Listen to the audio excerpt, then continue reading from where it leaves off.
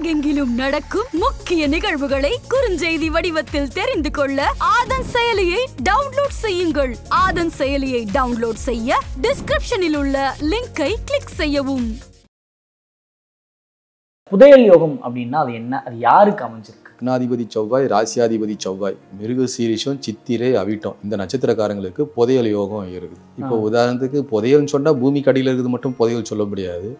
வாரிசு இல்லாத சொத்துக்கள் எதிர்பாராம வந்து எழுதி வச்சுட்டு போகிறதும் அதுவும் எதிர்பாராத ஒரு யோகம் தான். மங்கிலி யோகம் பொதுவாக ஜாதகத்தில் வந்து இந்த லக்னத்திலேயே குரு புதன் இருந்துச்சுன்னா அது வந்து மங்கிலி யோகம்னு பேர். இந்த ஜாதகத்தில் புதன் புதனும் குருவும் இருக்குது அப்படின்னா இவங்களை கூட்டிகிட்டு வந்து விலக்கேற்றி வச்சாங்கன்னா அந்த நிறுவனம் மிகப்பெரிய ஒரு யோகத்தை அடையுது தர்ம கர்மாதிபதி யோகம் அப்படின்ட்டு அதை பற்றி கொஞ்சம் குருவும் சனீஸ்வர பகவானும் சமசப்தமா பார்வை பார்க்கறது. இது வந்து மிகப்பெரிய யோகத்தை கொடுக்கும். குரு சனி சேர்க்க சார் இப்போ அதே மாதிரி சுகஸ்தானாதிபதி யோகம் அப்படின்னு சொல்றாங்க. அதை பத்தி. நாலாம் அதிபதி சரராசியா இருந்து அந்த வீட்டு அதிபதி சரராசியிலே ஆட்சி உச்சம் பெற்றுட்டாங்கன்னா ஒன்றுக்கும் மேற்பட்ட வீடு மனை வாகனம் காரு நாலஞ்சு காரு ஏழு எட்டு காரு ஏழு எட்டு வீடு வாடகை வருமானத்தை கொடுக்குது. சார் இப்போ யோகி அவயோகி யோகம்னு ரெண்டு விதமா இருக்கு. இது இதை பத்தி கொஞ்சம். யோகியுடைய நட்சத்திரத்துல சுபகிரகங்கள் அமர்ந்தா சிறப்பு. அதே மாதிரி யோகியுடைய நட்சத்திரத்துல திக்பலம் பெற்ற கிரகங்கள் அமர்ந்தாலும் மிகப்பெரிய ஒரு யோகத்தை கொடுக்குது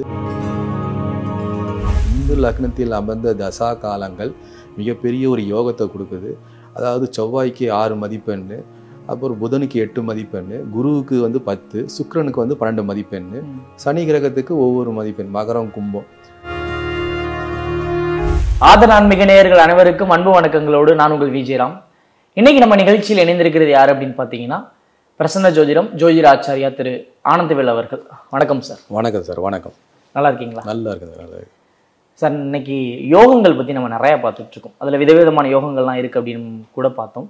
அதில் புதையல் யோகம் அப்படின்னா அது என்ன? அது யாருக்கு அமைஞ்சிருக்கு? பொதுவாக எல்லாருமே கேட்குற கேள்வி தான் இந்த மாதிரி புதையல் யோகம் இருக்கான்னு. மோஸ்ட்லி அதை நம்பி நம்ம போ போகாமல் இருக்கிறது நல்லது. ஏன்னா பூமி கடியில் இருக்கிற புதையலை பாம்பு சர்ப்பம் பாதுகாத்துட்டு இருக்கோம். அது அந்த பூமியிலேருந்து நகர்ந்துக்கிட்டே இருக்கும் அது. ஸோ ஒரு நிலையாக ஒரு இடத்துல இருக்காது. ஸோ அதனால் அது வந்து நம்ம அதில் ரொம்ப டீப்பாக போக வேண்டிய அவசியம் இல்லை. இருந்தாலும் இந்த மேஷ லக்னம் மேஷ ராசி விருச்சிக லக்னம் விருச்சிக ராசி ல லக்னாதிபதி செவ்வாய் ராசியாதிபதி செவ்வாய். மிருக சீரிஷம் சித்திரை அவிட்டம். இந்த நட்சத்திரக்காரங்களுக்கு புதையல் யோகம் இருக்குது. கண்டிப்பாக இருக்குது. அந்த புதையல் யோகம் எதிர்பாராத விதையில் கிடைக்கும். இப்போ உதாரணத்துக்கு புதையல்னு சொன்னால் பூமி கடியில் இருக்குது மட்டும் புதையல் சொல்ல முடியாது. வாரிசு இல்லாத சொத்துக்கள் எதிர்பாராம வந்து எழுதி வச்சுட்டு போகிறதும் அதுவும் எதிர்பாராத ஒரு யோகம். தான். ஸோ புதையல்னா நம்ம பூமி கடியில் இருக்கிற புதையல் மட்டும் நம்ம எடுத்துக்க வேண்டியது அவசியம் இல்லை. வாரிசுகள் யாரும் இல்லாமல் இறந்துடுறாங்க. அவங்களுடைய சொத்துக்கள் அப்படியே முழு முழுமையாக வந்துடும். அவங்க எந்த ட்ரஸ்ட்டுக்கும் எழுதி வைக்காம அந்த குடும்ப நபர்கள் வந்து அதை உரிமை கேட்டு எடுத்துக்கிறதும் ஒரு அதுவும் ஒரு யோகம் தான் ஒரு இடம் வாங்கி ஆ. போட்டிருந்திருப்பாங்க. ஆமா. அது வந்து அதுவும் ஒரு யோகம் தான். இப்போ ஒரு நபர் ஒரு அவருக்கு அவங்களுடைய முன்னோர்கள் நிறைய இடங்கள்ல வாங்கி போட்டிருக்காங்க. அது தெரியல. அப்புறம் அட்ரஸை தேடி கண்டுபிடிச்சு பார்த்தா சம்மந்தப்பட்ட நபர் எங்கேயோ ஒரு திருவள்ளூர்ல இருக்கிறாரு. கடைசியில் பார்த்தா அவருக்கு கிட்டத்தட்ட ஒரு பதினெட்டு ஏக்கர் நிலம் இருக்குது. ஆனால் அவங்க முன்னோர்கள் வாங்கி போட்டது அவருக்கே தெரியல. அவருடைய குடும்ப உறுப்பினர்கள் யாருமே இல்லை. அதனால அவர் ஒரு அனாதையாக ஒரு ஏதோ ஒரு ஊரில் சும்மா சுற்றி தெரிஞ்சுட்டு இருந்தார். அப்புறம் அவர் யாரோ ஒருத்தர் வேலை போட்டு கொடுத்து கொடுத்துருக்காங்க. அப்புறம் இந்த இடத்துல இத்தனை ஏக்கர் இருக்குதுன்னு கேள்விப்பட்டு அட்ரஸை விசாரிச்சு சம்மந்தப்பட்ட நபரை காண்டாக்ட் பண்ணி பார்த்து பார்த்தா அவருக்கு இத்தனை ஏக்கர் நிலம். அவங்களுடைய முன்னோர்கள் பாட்டனார் முப்பாட்டனார் வாங்கி போட்ட சொத்து. அதை அதுக்கப்புறம் அவரை கண்டுபிடிச்சி அதை பார்த்தா திடீர்னு ஒரு யோகம். இப்படி இதுதான் யோகம். ஸோ இந்த மாதிரியான யோகங்கள் எதிர்பாராத யோகம். பூமி யோகம் மட்டும் சொல்ல முடியாது. எதிர்பாராத யோகம். அது குறிப்பாக இந்த மேஷ லக்னம் விருச்சிக லக்னம் லக்னாதிபதி செவ்வாய் ராசியாதிபதி செவ்வாய் இவங்களுக்கெல்லாம் வந்து இந்த புதையல் யோகம் நல்லா அதாவது அந்த யோகத்தை அள்ளி கொடுக்க காத்துட்டு இருக்குது. ரெண்டாவது யோகம் மங்கினி யோகம் சொல்லுவோம் அதை பத்தி என்ன சொல்றீங்க? இந்த மங்கிலி யோகம் பொதுவாக ஜாதகத்தில் வந்து இந்த லக்னத்திலே குரு புதன் இருந்துச்சுன்னா அது வந்து மங்கிலி யோகம்னு பேர்.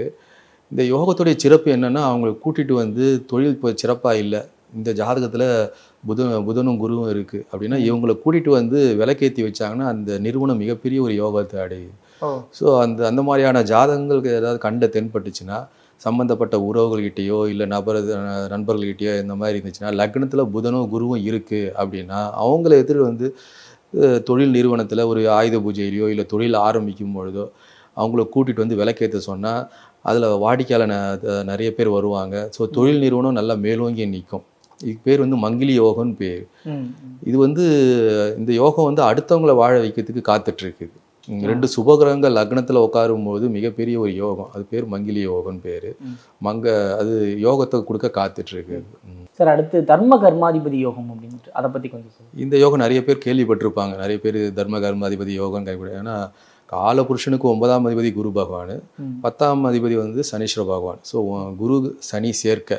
இவங்க ரெண்டு பேரும் சேர்க்கை பார்வை குருவுடைய நட்சத்திரத்தில் ச சனி கிரகம் அமர்வது சனியுடைய கிரகத்தில் குரு அமர்வது குருவும் சனீஸ்வர பகவானும் சமசப்தமாக பார்வை பார்க்கறது. இது வந்து மிகப்பெரிய யோகத்தை கொடுக்கும். குரு சனி சேர்க்கை இது வந்து தர்ம கர்மாதிபதி யோகம்னு பேர்.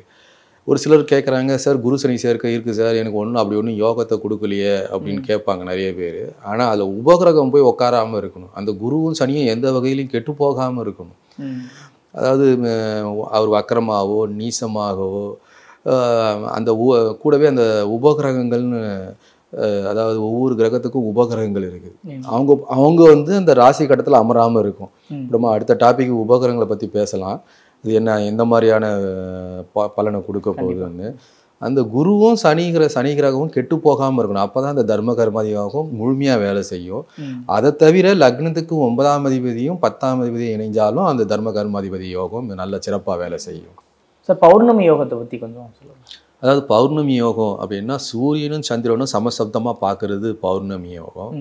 அது கிட்டத்தட்ட ஒரு பத்து பேருக்கு வேலை கொடுக்குற அளவுக்கு மிகப்பெரிய ஒரு உயர்ந்த அந்தஸ்தை அடையவர். ஒரு தொழில் நிறுவனத்தை நடத்தி ஒரு பத்து பேருக்கு வேலை வாய்ப்பை கொடுக்குறார் பௌர்ணமி யோகத்தில் பிறந்தவங்க. அமாவாசை யோகத்தில் பிறந்தவங்க வந்து அவங்களுடைய பிரெயின் வந்து நல்ல சிறப்பாக வேலை செய்யும். சூரியனும் சந்திரனும் ஒரே நேர்கோட்டில் சந்திக்கும் போது அவங்களுடைய அறிவுத்திறன் மிகப்பெரிய பலம் வாய்ந்ததாக இருக்குது.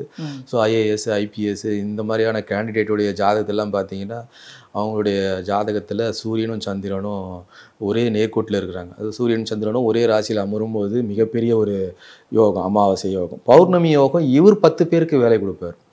அங்கே வந்து ஒரு பல பேர் அதிகாரம் பண்ணுற இடத்துல அவங்க அமர்றாங்க அமாவாசையில் பிறந்தவங்க.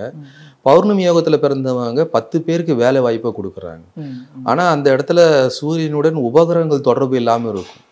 ஒருவருடைய ஜாதகத்தில் சூரியன் சந்திரன் பௌர்ணமி அன்னைக்கு தான் பிறந்திருக்கிறாரு. அவர் செக்யூரிட்டி வேலை பார்க்குறாரு. அவருடைய ஜாதகத்தை ஆய்வு பண்ணால் என்ன பௌர்ணமி இதில் பிறந்திருக்கீங்கன்னு சொன்னீங்க நான் செக்யூரிட்டி வேலை என்ன ஜாதகத்தை பார்த்தா அந்த சூரியனுடன் உபகிரகங்கள் தொடர்பு பெறக்கூடாது. உபகிரகங்கள் தொடர்பு பெற்றா பத்து பேர் வேலை செய்கிற இடத்துல இவர் செக்யூரிட்டியாக வேலைக்கு போயிடுவார். ஆக முதல்ல அந்த சூரியனும் சந்திரனும் சமசப்தமாக இருக்கணும். எந்த விதத்துலேயும் அந்த உபகிரகங்கள் தொடர்பு இல்லாமல் இருந்தால் கண்டிப்பாக அவர் ஒரு பெரிய நிறுவனத்தை ஆரம்பித்து அதில் பத்து பேருக்கு பத்து குடும்பத்தை வாழ வைக்கிற யோகத்தை தான் இந்த பௌர்ணமி யோகம் கொடுக்குது. சார் இப்போ அதே மாதிரி சுகஸ்தானாதிபதி யோகம் அப்படின்னு சொல்றாங்க. அதை பத்தி அதாவது சுகஸ்தானாதிபதி யோகன்றது என்னென்னா ஒன்றுக்கும் மேற்பட்ட வீடு வாசல் காரு நாலு காரு அஞ்சு காரு ஏழு எட்டு வீடுகள் அதன் மூலிமா வாடகை வருமானம் வருது. அதாவது நாலாம் அதிபதி சரராசியாக இருந்து அந்த வீட்டு அதிபதி சரராசியிலே ஆட்சி உச்சம் பெற்றுட்டாங்கன்னா அது ஒரு ஒன்றுக்கும் மேற்பட்ட வீடு மனை வாகனம் காரு நாலஞ்சு காரு ஏழு எட்டு காரு ஏழு எட்டு வீடு வாடகை வருமானத்தை கொடுக்குது. இந்த மாதிரியான ஜாதகம் நிறைய ஜாதகத்தில் இருக்குது. உதாரணத்துக்கு பார்த்தீங்கன்னா நம்ம லேடி சூப்பர் ஸ்டார் நயன்தாரா ஜாதகத்தில் பார்த்தீங்கன்னா அந்த அம்மாவுடைய ஜாதகத்தில் வந்து நாலாம் மகர லக்னம். நாலாம் அதிபதி பார்த்தீங்கன்னா செவ்வாய். செவ்வாய் மகர லக்னத்திலேயே உச்சம் பெறாரு. சரராசி வீட்டிலேயே உச்சம் பெறுறாரு. அந்த அந்த அம்மாவுடைய வேல்யூன்றது நமக்கு தெரியும். ஸோ இனி இன்றைக்கும் தொடர்ந்து அந்த மாதிரி இண்டஸ்ட்ரியில் இன்றைக்கும் நல்லா நீடிச்சிருக்கிறாங்க. ஏன்னா பத்தாம் இடத்துல சனி உச்சம் நம்ம வீடு மனை வாகனத்தை பேசும்போது அந்த இந்த விதி வந்து அந்த அம்மாவுக்கு பொருந்தது. அதே மாதிரி சிறு வயதிலேயே மிகப்பெரிய யோகம். த நடிகர் தனுஷ் எடுத்துக்கணும். அவருடைய ஆரம்ப காலம் எப்படி இருந்தது? இப்போ அவருடைய சனி தசை வரும்போது எப்படி இருந்தது? ஏன்னா லக்னத்திலே சனி உச்சம். நான் துலா லக்னம் நாலாம் அதிபதி சரராசி மகரம் அந்த வீட்டு அதிபதி சனி கிரகம் துலாத்துல ச- சனி உச்சம் பெறுறாரு. அப்போ ஒன்றுக்கும் மேற்பட்ட வீடு மனை வாகனம் யோகத்தை அள்ளி கொடுக்க காத்துட்டு இருக்கு ஸோ இந்த விதிகள் பொருந்திருந்தா ஒன்றுக்கும் மேற்பட்ட வீடுகளை கொடுக்குது. அப்படி ஒரு பூமி யோகத்தை அள்ளி கொடுக்க காத்துட்டு இருக்குது அவங்கள சுயஜாதகத்தை ஆய்வு பண்ணி பாருங்க. இந்த அமைப்பு இருந்தால் மிகப்பெரிய ஒரு யோகத்தை கொடு அந்த தசா காலம் வந்தவொடனே இன்னும் கொடுத்துடலாம். இந்த மாதிரியான அமைப்பெல்லாம் இருந்துச்சுன்னா மா மாப்பிள்ளையோட ஜாதகமோ இந்த மாதிரி இருந்துச்சுன்னா தைரியமாக நம்பி கொடுக்கலாம். அடுத்த தசா காலம் அவருக்கு மிகப்பெரிய ஒரு யோகத்தை கொடுக்குது. இன்றைக்கி அவர் வசதி குறைவுன்னு பார்க்காதீங்க. அவருக்கு திருமணம் பண்ணி வைங்க. மகளுக்கு திருமணம் கொடுத்துருங்க. ஏன்னா அந்த ஸ்டேட்டஸ் பார்க்கும்போது நிறைய ரிஜெக்ட் பண்ணிடுறாங்க இல்லையா? கண்டிப்பா அப்போ பையன் வசதி கம்மியாக இருக்குது அதனால் எங்கள் ஸ்டேட்டஸுக்கு இல்லை அப்படின்னும் போது பையனுடைய ஜாதகத்தில் இந்த அமைப்பு இருந்தால் அடுத்தது இன்னும் ஒரு ஆறு வருஷத்தில் அவருக்கு அந்த ஜா தசா வரப்போகுது. நீங்கள் திருமணம் பண்ணி வைங்க. அவர் மிகப்பெரிய ஒரு யோகத்தை இருக்கிறார். ஒன்றுக்கு நாலஞ்சு வீடுகள் அது மூலமாக வாடகை வருமானம் காரு விதவிதமான காரு. நிறைய ஏர்ன் பண்ணுவார். நீங்கள் தைரியமாக கொடுங்கன்னு சொல்கிறதுக்கு இந்த இந்த விதிகள் பொருந்தும். சார் இப்போ அதே மாதிரி பாதலட்சுமி யோகம் அப்படின்னா என்ன இது பொதுவாக பாதலட்சுமி யோகம் கால புருஷனுக்கு ரெண்டாம் அதிபதி சுக்கிர பகவான் பன்னெண்டாம் அதிபதி குரு. குரு சுக்கிரன் தொடர்பு இருந்துச்சுன்னு சொன்னால் பாதலட்சுமி யோகம். இது கால புருஷனுக்கு. அதே மாதிரி பன்னெண்டு லக்னத்துக்கு நீங்கள் போட்டு பார்த்துக்கலாம். இந்த பன்னெண்டு லக்னத்துக்கும் எந்தெந்த லக்னம் யார் யார் என்ன லக்னமோ ரெண்டாம் அதிபதியும் பன்னெண்டாம் அதிபதியும் சேர்ந்தா பாதலட்சுமி யோகம். இந்த பாதலட்சுமி யோகம் இருக்கிறவங்க அவங்க யாராவது ஒரு இடத்துல போய் வந்து வீட்டுக்கு வந்துட்டாங்கன்னா அவங்களால இந்த குடும்பம் நல்லா வளர்ச்சி அடைஞ்சிரும். ம். ஸோ அது பேர் பாதலட்சுமி யோகம். அந்த மாதிரி யாராவது இந்த மாதிரியான ஜாதகங்கள்லாம் கிடச்சிதுன்னா அவங்களுக்கு வீட்டுக்கு கொடுத்து வீட்டுக்கு கூட்டின்னு வந்து விருந்து கொடுத்து அவங்கள நீங்கள் சந்தோஷமாக அடிக்கடி ஒரு ரெண்டு மூணு ட்ரிப்பு வர வச்சு அவங்கள மகிழ்ச்சியாக விருந்து கொடுத்தீங்கன்னா அவங்க உள்ள கால் வச்ச நேரம் நீங்கள் உங்கள் வளர்ச்சி அடைஞ்சிருவாங்க. ஸோ இது இதெல்லாம் பாதலட்சுமி யோகம். இதெல்லாம் வந்து நல்லா வேலை செய்யும் இந்த யோகம். இந்த அந்த அந்த மாதிரியான ஜாதகத்தை நபர்களை சொந்தக்கார நபர்கிட்ட சும்மா ஜஸ்ட் விசாரிச்சு பார்க்கணும். அதில் லக்னத்துக்கு ரெண்டாம் அதிபதியும் பன்னெண்டாம் அதிபதி. இல்லைன்னா குருவும் சுக்கிரனும் தொடர்பு பெற்றுட்டாங்கன்னா இந்த சம்மந்தப்பட்ட நபரை வீட்டுக்கு கூட்டின்னு வந்து அவங்கள சந்தோஷப்படுத்தி மகிழ்ச்சிப்படுத்தி அவங்களுக்கு கொடுத்தீங்கன்னா அவங்க நீங்கள் வர சொன்னால் கூட வருவாங்க. நீங்கள் வாங்க ரொம்ப சிரமத்தில் இருக்கிறோம் கஷ்டப்படுறோம். நீங்கள் எங்கள் ஆஃபீஸுக்கு வாங்க எங்கள் வீட்டுக்கு வாங்க. கடன் நிறைய இருக்குது அப்படின்னு சொன்னால் அவங்க கண்டிப்பாக வருவாங்க. அந்த மாதிரி நிறைய இப்போ இவங்கெல்லாம் பெண் பார்க்க போகிறாங்க இவங்களுக்கு திருமணம் ஆகாது அவங்களுக்கு திருமணம் ஆகிடும் இந்த பாதலட்சுமி யோகம் இருக்கிறவங்களுக்கு இவங்க போனால் பெண் பார்க்க போனால் திருமணம் ஆகாது. ஆனால் இப்போ பார்த்துட்டு வந்த பொண்ணுக்கு திருமணம் ஆகிடும் இந்த மாதிரி யோகம் நிறைய இருக்குது. சார் இப்போ குரு புஷ்ய யோகம்னு சொல்லிட்டு ஒன்று சொல்றாங்க. அது என்ன மாதிரி சார்? அதாவது குரு புஷ்ய யோகம். நம்ம பஞ்சாங்கத்தில் அடிக்கடி குறிப்பிடப்பட்டிருப்பாங்க நிறைய இது இப்போ பாமர மக்களுக்கு இப்பெல்லாம் தெரியறதுக்கு வாய்ப்பு இல்லை. அது பஞ்சாங்கம் பயன்படுத்துறவங்களுக்கு தான் தெரியும். இந்த வியாழக்கிழமையும் அந்த பூச நட்சத்திரமும் இணையிற நாள் தான் குரு புஷ்ய யோகம். இந்த நேரத்தில் நம்ம வந்து ஆத்மார்த்தமா கோவிலுக்கு போனாலோ சரி இல்லை வீட்டில இருந்தே நம்ம ராகுகால யமகண்டம் இல்லாத நேரமாக பார்த்து. குறிப்பாக அந்த குரு ஓரையிலையோ இல்லை அந்த சனி ஓரையிலையோ நம்ம ஆத்மார்த்தமாக வழிபாடு பண்ணும் பொழுது நம்ம என்ன நினைக்கிறோமோ அந்த பிரார்த்தனை நிறைவேற நாள் தான் இந்த குரு புஷ்ய யோகம். இது இது ரொம்ப வராது வருஷத்துக்கு ரெண்டு ட்ரிப்பு வந்தால் வரும். ஒரு சில பஞ்சாங்கத்தில் அந்த வருஷத்து தமிழ் வருஷ பஞ்சாங்கத்தில் வரத்துக்கு வாய்ப்பே இல்லை. ஒரு சில போன வருஷம் ஒரு மூணு தடவை வந்திருக்குது. இந்த வருஷம் ரெண்டு தடவை தான் வருது. வியாழக்கிழமை யோகம். அதாவது வியாழக்கிழமையும் பூச நட்சத்திரமும் இணையிற நாள் வந்து தான் குரு புஷ்ய யோகம். வியாழக்கிழமையும் பூச நட்சத்திரமும் இணையிற நாள் தான் குரு புஷ்ய யோகம். இந்த பஞ்சாங்கத்தை குறிப்பிட்டிருப்பாங்க. குரு புஷ்ய யோகம்னு. ஸோ இது வந்து நிறைய தெரியாது மிடில் கிளாஸ் ஒரு சில அந்த அந்த நாள் அந்த நட்சத்திரமும் இணையாது. ஸோ அந்த நாள் அந்த நட்சத்திரமும் இணையும் இது அதிகபட்சம் பார்த்தீங்கன்னா வருஷத்துக்கு ரெண்டு ட்ரிப்பு வரலாம் மூணு ட்ரிப்பு வரலாம்.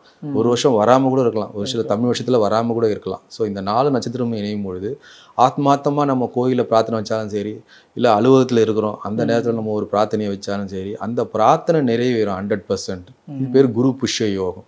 அந்த நாளுக்காக காத்திருந்து நம்ம புத்திர பாக்கியம் இல்லை கடன் அடைய மாட்டேங்குது. ஸோ எந்த பிரார்த்தனை வைக்கிறோமோ அந்த பிரார்த்தனை ஹண்ட்ரட் பர்சன்ட் நிறைவேறும் குரு புஷ்ய யோகம். இப்போ சகட யோகம்னா? இந்த யோகம் நீங்கள் கேள்விப்பட்டிருப்பீங்களா? பொதுவாக சகட யோகம் குரு நின்ற வீட்டிலிருந்து சந்திரன் ஆறு எட்டு பன்னெண்டில் மறையக்கூடாது. ஆறு எட்டு பன்னெண்டில் மறைஞ்சிச்சுன்னா சகட யோகம்னு பேர். அதாவது சகட தோஷம். பொதுவாகவே யோகத்துக்கு பின்னாடி நிறைய தோஷங்கள் தான். சகட அப்படின்னு சொன்னால் ராட்னம்னு பேர். அதாவது ராட்னம் எப்படி அந்த பாக்ஸ் மேலேருந்து கீழே கீழே இருந்து மேலே இப்படி இருந்துச்சுன்னா இந்த குரு நின்ற வீட்டிலேருந்து சந்திரன் ஆறு எட்டு பன்னெண்டில் இருக்கிறாரு அப்படின்னா வாழ்க்கை ஏற்ற இறக்கமாகவே இருக்கும்.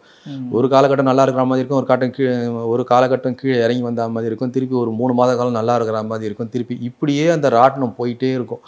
ஸோ ஒரு ஸ்டாண்டர்டான ஒரு வளர்ச்சி இருக்காது. ஸோ குரு நின்ற வீட்டிலிருந்து ஆறு எட்டு பன்னெண்டில் சந்திரன் இருந்தால் இதுக்கு பேர் வந்து சகட யோகம். ஆனால் பார்த்தீங்கன்னா இது ஏற்ற இறக்கமாக கொடுக்குற வாழ்க்கையை கொடுக்கும். இதுக்கு நிவர்த்தி இருக்குது.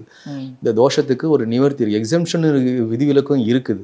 அதாவது இந்த குருவோ சந்திரனோ ரெண்டு பேரில் யாராவது ஒருத்தர் ஆட்சி உச்சம் பெற்றுட்டாங்கன்னா சகட யோகம் வந்து அந்த தோஷம் வந்து நிவர்த்தி ஆகிடும் அதே மாதிரி பௌர்ணமி யோகத்தில் பிறந்தாலும் இந்த தோஷம் நிவர்த்தி ஆகிடும் ஏன்னா பௌர்ணமி யோகத்தில் சூரியனும் சந்திரனும் சமசப்தமாக பார்த்துக்கிறாங்க. அதில் குரு தொடர்பு பெற்றுட்டாருன்னா இந்த சகட யோகம் வந்து இந்த தோஷம் வந்து இருக்காது.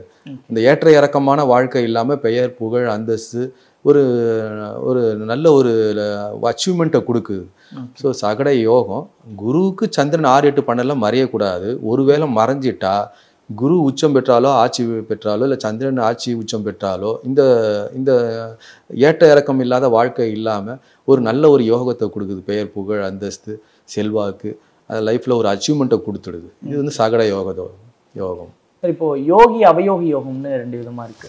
இது இதை பத்தி கொஞ்சம் சரி யோகி ஒருவருடைய புண்ணியங்களை யோகி அதாவது அவனுடைய தாய் தகப்பன் செஞ்ச புண்ணியங்கள் வந்து அப்படியே வந்து வாரிசுகளுக்கு போகிறது வந்து யோகி.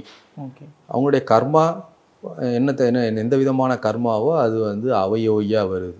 உதாரணத்துக்கு தாயுடைய நட்சத்திரம் தாயுடைய ராசி தகப்பன தகப்பனாருடைய ராசி நட்சத்திரம் தசாநாதனுடைய ராசி நட்சத்திரம் தாயினுடைய த தசாவுடைய நட்சத்திரங்கள் இது எல்லாமே அப்படியே வாரிசுகளுக்கு வந்து விழுதுன்னா அந்த தாய் தகப்பனுடைய புண்ணிய கர்மா இருந்தாலும் சரி அசுப கர்மாவாக இருந்தாலும் சரி எதுவாக இருந்தாலும் அந்த குழந்தைக்கு அப்படியே டிரான்ஸ்ஃபர் ஆகுறது தான் இந்த யோகி அவயோகி.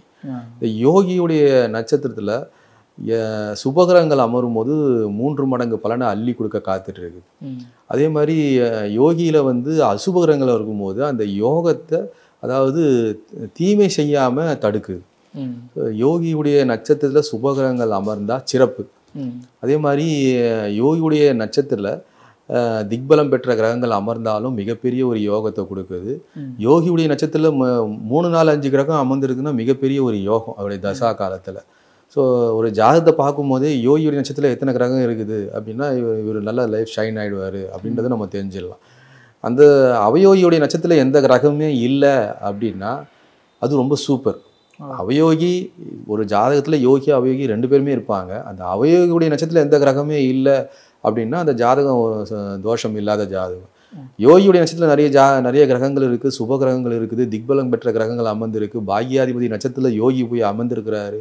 ஸோ இதெல்லாம் அது மிகப்பெரிய ஒரு யோகத்தை கொடுக்க காத்துட்டு இருக்குது ஸோ யோகி யோகத்தை கொடுப்பவர் அவயோகி யோகத்தை தடுப்பவர். யோகியினுடைய நட்சத்திரத்தில் அமர்ந்த தசா காலம் மிகப்பெரிய யோகத்தை கொடுக்குது. ஒரு சில ஜாதகத்தில் சனி கிரகம் யோகியா இருப்பார் சந்திரன் அவயோகியா இருப்பார். ஒன்றும் பிரச்சனை இல்லை. அது யோகி அவயோகி. இப்போ கண்ட நாம யோகத்தில் பிறந்தவங்களுக்கு பார்த்தீங்கன்னா யோகி பார்த்தீங்கன்னா சனீஸ்வர பகவானாக வருவார். இப்போ பூசா அனுஷம் உத்திரட்டாதியில் எந்த கிரகம் அமர்ந்து உட்காந்து தசை நடத்தாலும் அவங்களுக்கு மிகப்பெரிய யோகம். இப்போ சந்திரனுடைய நட்சத்திரத்தில் அவர் சுப கிரகம் தான் ஆனால் சந்திரனுடைய நட்சத்திரத்தில் போயிட்டு அவ அ- அவர் அவயோகியாக இருக்கிறார். அந்த நட்சத்திரத்தில் நிறைய கிரகங்கள் அமர்ந்திருக்கு அப்படின்னா அந்த அவயோகத்தை கொடுக்க காத்துட்டு இருக்குது அதே ராகுலாம் அமர்ந்துட்டுனாங்கன்னா அவருடைய தசா காலத்தில் கடுமையான காயத்தை கொடுக்க காத்துட்டு இருக்கு ஸோ ஆக யோகி அதில் சுபகிரகங்கள் அமுக்கும் அமரும் பொழுது மிகப்பெரிய யோகத்தை கொடுக்குறாங்க. ஆஹ், அசுப கிரகங்கள் அமரும் பொழுதும் யோகம் உண்டு. இருந்தாலும் அந்த யோக அந்த அசுபகிரகங்கள் அமரும் பொழுது அந்த தீய பலன்களை குறைச்சி கொடுக்குது அவ்வளோதான் சார் இப்போ அதே மாதிரி இந்து லக்ன யோகம் அதை பத்தி கொஞ்சம் நம்ம இந்து லக்ன யோகமும் ஏற்கனவே நம்ம கொடுத்துருந்தாலும் இப்போ புதுசாக பார்க்குற வாடிக்கையாளருக்காக சப்ஸ்கிரைபருக்காக நம்ம சொல்கிறோம் இந்து லக்னம் இந்துன்னா சந்திரன் அர்த்தம். இது முழுக்க முழுக்க தனத்தை மட்டுமே மு- முக்கியத்துவம் கொடுத்து இந்த யோகம் செயல்படுது. இந்து லக்னத்தில் அமர்ந்த தசா காலங்கள் மிகப்பெரிய ஒரு யோகத்தை கொடுக்குது. அதாவது செவ்வாய்க்கு ஆறு மதிப்பெண் அப்புறம் புதனுக்கு எட்டு மதிப்பெண் குருவுக்கு வந்து பத்து சுக்கிரனுக்கு வந்து பன்னெண்டு மதிப்பெண் சனி கிரகத்துக்கு ஒவ்வொரு மதிப்பெண் மகரம் கும்பம். ரெண்டு ரெண்டு ஆதிபத்தியம் விட்ட வீடுகளுக்கெல்லாம் அப்படியே அதே மதிப்பெண்ணை போட்டுக்கணும். அதுக்கு அடுத்தது பார்த்தீங்கன்னா கடகத்துக்கு பதினாறு சிம்மத்துக்கு வந்து முப்பத்தி ரெண்டு ஸோ லக்னத்துலேருந்து ஒன்பதாம் இடம் ராசியிலேருந்து ஒன்பதாம் இடம். இந்த ரெண்டு ஒன்பது ஒன்பதாம் இடத்தையும் இணைக்கின்ற ஒரு இடம் தான் இந்து லக்னம். இந்த லக்னத்தில் எந்த கிரகங்கள் பன்னெண்டு பாவத்தில் ஏதாவது ஒரு அந்த ராசியிலேருந்து அது எண்ணும் பொழுது எந்த பாவத்தில் அந்த இந்து லக்னம் அமருதோ அதில் சுபகிரகங்கள் திக்பலம் பெற்ற கிரகங்கள் யோகியுடைய யோகி கிரகங்கள் இவங்கெல்லாம் அமரும் போது மிகப்பெரிய ஒரு யோகத்தை கொடுக்குறாங்க. புரட்சி தலைவி அம்மா அவர்கள் ஜாதகத்தில் இந்து லக்னம் இருக்குது. ஸோ அதுக்கப்புறம் இந்திரா காந்தி அம்மையாருடைய ஜாதகத்தில் இந்து லக்னம் இருக்குது ஓகே சார் இப்போ அதே மாதிரி மகாபுருஷ யோகம் சொல்லுங்க அதை பத்தி. அது மகாபுருஷ யோகமும் நம்ம கடந்த கடந்த பதிவில் பார்த்துருக்குறோம். இருந்தாலும் இந்த பதிவை பார்க்குற சப்ஸ்கிரைபருக்காக நம்ம அஹ், பஞ்சமகா புருஷ யோகம். பஞ்ச என்று சொன்னால் ஐந்து பெரிய என்று சொன்ன மகா என்ன? பெரிய.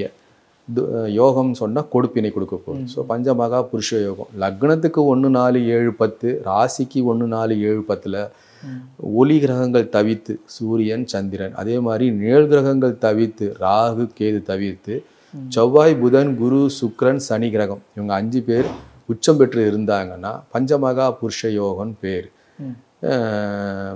அந்த மாதிரி பார்க்கும்பொழுது இப்போ ஒரு புரட்சி தலைவிய அம்மையாருடைய ஜாதகத்தில் பார்த்தீங்கன்னா பஞ்சமகா புருஷ யோகம் இருக்குது மிதுன லக்னம் அந்த அம்மா.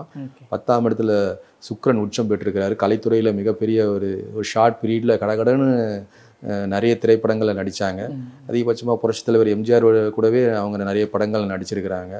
அடுத்தடுத்து அவங்க அம்மாவுக்கு அந்த அம்மா அம்மையாருக்கு மிகப்பெரிய யோகம்.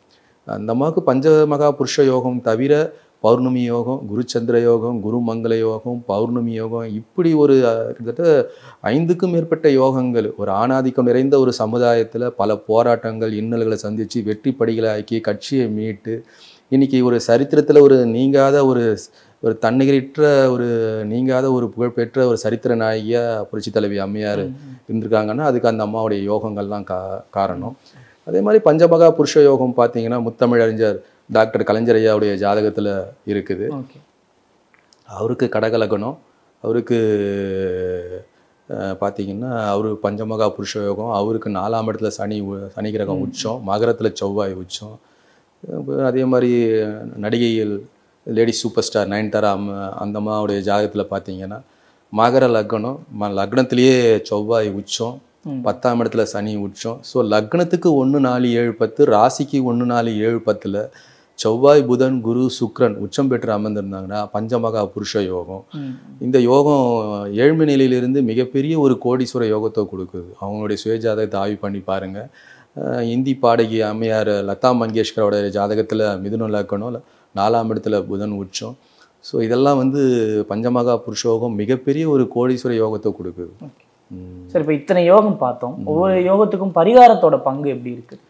பரிகாரம் இது பரிகாரம் செய்ய வேண்டிய அவசியம் இல்லை. அந்த தசா காலம் வர வரைக்கும் காத்துட்டு இருக்கணும் அந்த தசா காலம் வந்த உடனே அது மிகப்பெரிய ஒரு யோகத்தை கொடுத்துடுது. ஸோ இதுக்கு பரிகாரம் தேவையில்லை. அந்த தசாவுக்காக காத்திருக்கணும் அதாவது இந்த பஞ்சமகா புருஷ யோகம் அப்படின்னா இவங்களுடைய தாய் தகப்பன் வந்து ஐம்புலங்களையே அடக்கி இறை சன்னதியில் தன்னுடைய வாழ்க்கையை அர்ப்பணிச்சிருப்பாங்க. அந்த யோகத்துடைய பலனு அவங்களுடைய வாரிசுகளுக்கு அப்படியே போய் சேருது. அதோடைய முன்னோர்கள் செய்த புண்ணிய கர்மா தான் இந்த பஞ்சமகா புருஷ யோகம் வாரிசுகளுக்கு கிடைக்க பெற்று அவங்க மிகப்பெரிய யோகத்தை அடைகிறாங்க. இவங்க முன்னோர்கள் செஞ்ச அந்த பாக்கியம்தான் ஸோ அதோடைய பலன் தான் வாரிசுகளுக்கு இந்த பஞ்சமகா புருஷ யோகத்தை கொடுக்குது. ஓகே நிறைய யோகங்கள் ரொம்ப வித்தியாசமா ரொம்ப ஆழ்ந்த கருத்துக்களை நம்ம நிறைய விஷயங்கள் கேட்டு தெரிஞ்சுக்கிட்டோம். நேர்களே நீங்க எல்லாருமே இந்த தலைப்பை ரொம்ப சுவாரஸ்யமா நீங்க கேட்டிருப்பீங்க. ஏன்னா ஒவ்வொரு யோகமும் ஒவ்வொரு விதமான ஒரு மாற்றங்களை கொடுக்கும் ஒவ்வொரு உயர்ந்த இடத்தை கொடுக்கும் அப்படின்ட்டு. இதே மாதிரி இன்னொரு சுவாரஸ்யமான தலைப்புல உங்களை சந்திக்கிறேன். வணக்கம்.